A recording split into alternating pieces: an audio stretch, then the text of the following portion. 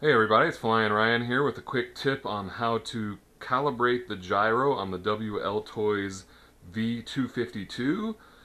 Uh, with the stock transmitter, you're going to want to change your rates to 100% so the display changes to orange.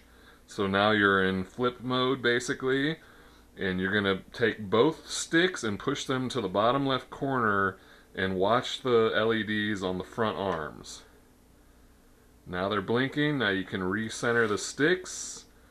And they should stop blinking. Yeah, there we go. And now, now it's recalibrated. That's all there is to it. Uh, the V252 also works with the uh, V222 transmitter.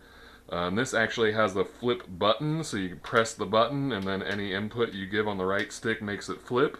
Uh, so I suggest getting this uh, transmitter to fly with for that alone because it's so much nicer to flip with a button.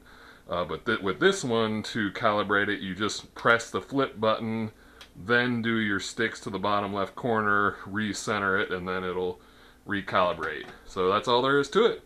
Alright, well thanks for watching, please subscribe, and I'll see you next time.